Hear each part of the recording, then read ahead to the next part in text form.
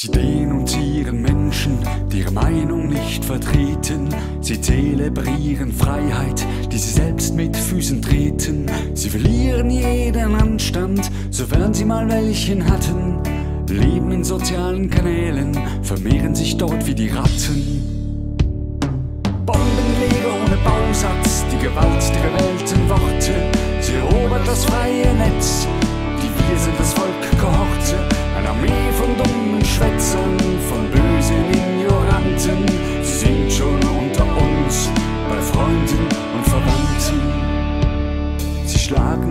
verbalen Fäusten in virtuelle Gesichter, liefern ganz anonym den dummen die Benzinkanister und politischen Zunder, wobei sie sich dann wundern, wenn jemand plötzlich tät, was sie so wollen mit Realität. Terroristen ohne Waffen, die Gewalt der gewählten Worte, in asozialen Medien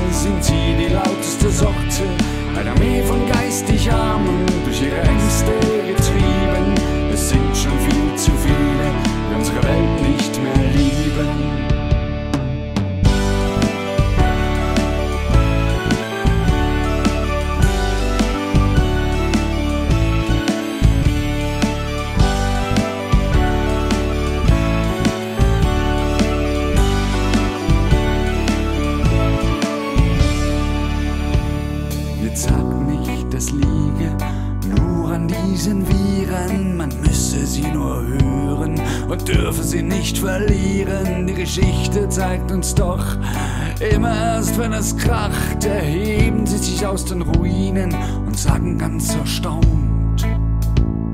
Wer hätte denn das gedacht? Dass ein Mensch mal sowas macht. Nein, das darf nie mehr so sein. Und ich war ja nie wirklich mit dabei.